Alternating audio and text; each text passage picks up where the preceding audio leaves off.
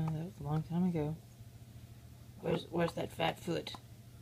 Let's see that fat foot again. Yeah, fat foot. Why do you guys don't, have any dessert?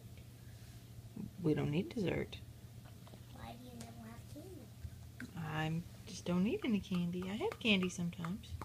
Miss Taylor don't eat any. Terry doesn't really like a lot of candy. Why do you don't? I don't need it.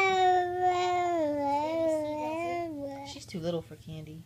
What happens if she eats it? It will make her hyper and maybe give her a tummy ache. What you doing? Do She's putting the cup on her foot. You're putting it on your chin. Y'all are both silly.